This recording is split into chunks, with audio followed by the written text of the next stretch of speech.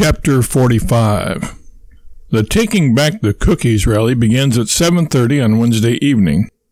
The trouble starts at 8 when Warble finally takes the stage after making the audience wait half an hour while the sound system plays songs he hopes will fire them up into a state of reactionary frenzy. This land is your land. Thank God I'm a country boy. A boy named Sue. Harper Valley PTA. Attitude Adjustment. Eve of Destruction, and the Muppet Song. The music abruptly stops. The lights dim and then go out completely.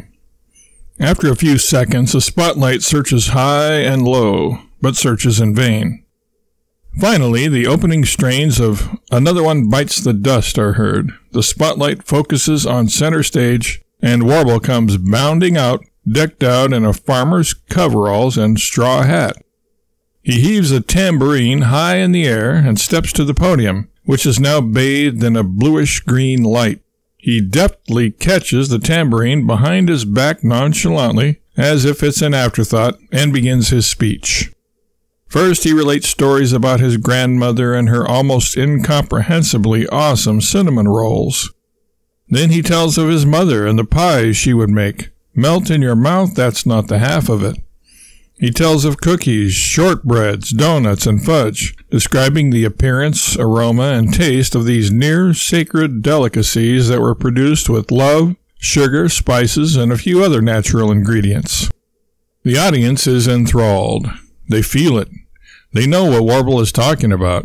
He has struck a common chord with those in attendance. Then, with a sneer, Warble rips the tambourine apart and yanks out a package of the home style cookies.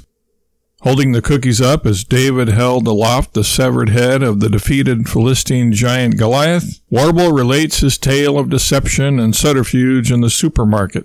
Working as followers, for this by now they can rightly be called, as outraged as they are over the mere existence of this item under this name, to a fever pitch, Warble yells out, in his best righteous indignation voice, We're mad as Dallas and we're not gonna take it anymore. The home style cookies must go. These huge mega corporations only understand one language money. There is only one thing that will make them stand up and take notice a blow to the pocketbook.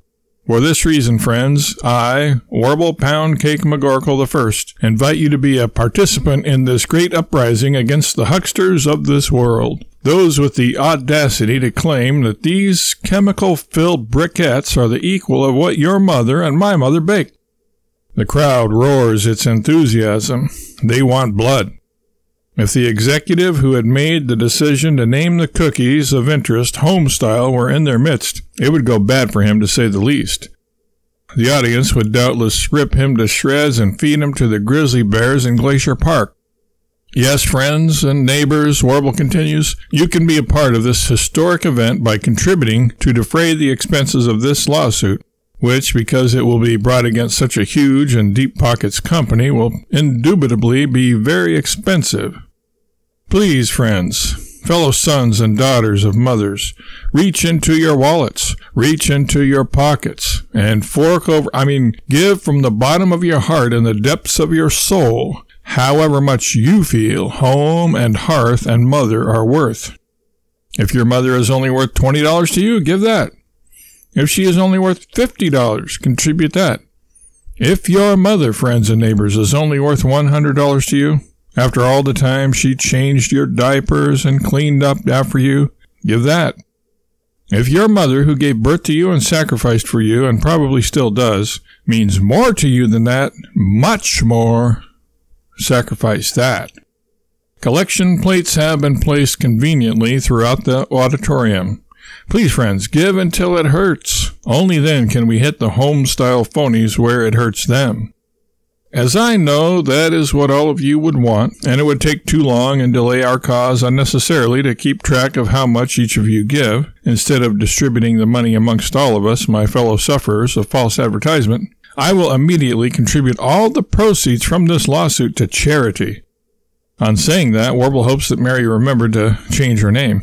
Oh well, it's the thought that counts. Even if she didn't do it, I'll proceed as if she had, and nobody will know the difference. As his coup d'etat, Warble pulls out a book and holds it up for the audience to see. The book is several hundred pages in length, but all the pages are blank, of course. No one in the audience knows that. Pausing to arouse anticipation, Warble finally bellows out triumphantly, Eat your heart out, Ralph Nader! I have written a scathing denunciation of the phony food industry named unwholesome in any quantity, as those of you in the front row can see and those of you in some of the other rows who are blessed with very good eyesight, no doubt as a result of genuine home cooking, including fresh cookies galore. Cheering wildly and fired up with enthusiasm, the crowds head for the exits, emptying their wallets of all their cash.